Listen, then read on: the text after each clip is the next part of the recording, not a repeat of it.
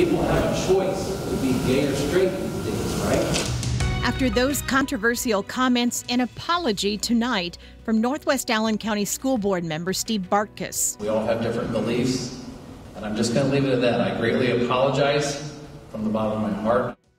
Last week, after his comments, Bartkus told us he has a lot of gay friends and that he, quote, treats them like people, but they have a choice to be that way and act out the way they are.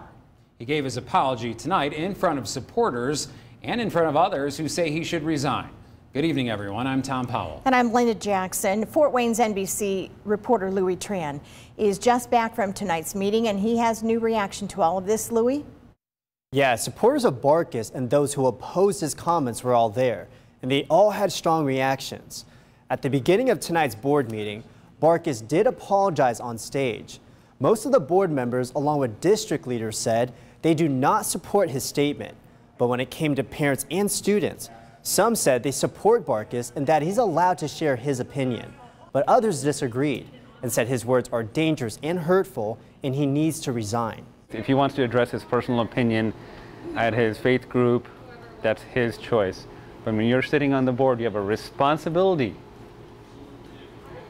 to the NACS school district, not to your personal opinion.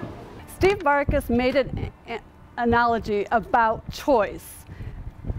It had nothing to do with anything else about making an analogy about choice.